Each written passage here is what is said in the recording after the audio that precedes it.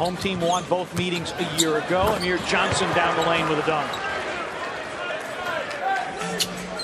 Thomas. Thomas, the crossover, got the step and drew the foul from Conley. Thomas hits over Gasol. Grizzlies will take a timeout here. 2 and 33 for the first half. Horford. And Isaiah Thomas takes it the distance. Now the Celtics, because of that quick run out. They get a two for one.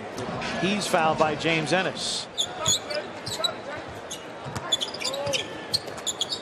Thomas for three. Like I said. Scores and bunches. Crowder lines up a three. Long two. It'll be reviewed, but Mike Callahan says it is a two at the moment. Is down to nine. And the thing about that last possession is they just, Coach Fizdale just yelled to James Ennis and Mike Conley to talk about what they're going to do. On Sunday, and Conley takes a foul against Isaiah Thomas. Olynyk goes to the curl. Again, the Grizzlies able to force Thomas to his right, but Harrison with the foul, and Isaiah Thomas will go back to the free throw line. Isaiah Thomas hits another three. 23 for Isaiah Thomas. He averages 26. And a foul on Andrew Harrison. Thomas hit another three. So as you allow him to go left, he will continue to torch this Grizzlies team.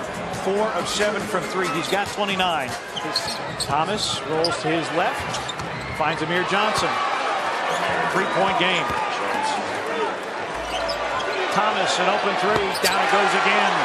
32 for Isaiah Thomas. We're tied at 78. Grizzlies have blown a 17-point lead. Thomas, a three for the tie. It's in.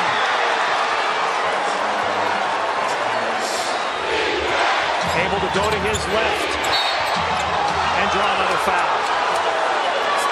I promise you, there has not one other official. Seven with 27 seconds remaining. 13 of 13 from the free throw line. He's tied his season high with 37. Conley back in. Crowder for the lead. Jae Crowder has also been a guy in this second half. Seven-point game of the season for Isaiah Thomas. Horford. And Boston can't miss. Thomas, a three in transition. New season high for Isaiah Thomas.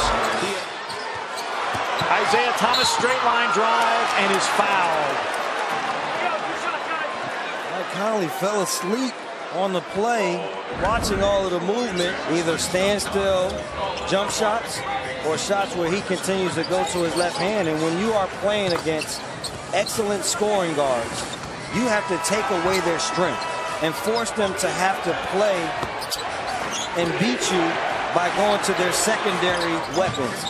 In this game tonight in the second half, they never did that to Isaiah Thomas, which then allowed him to just get on a roll. And then on the other end,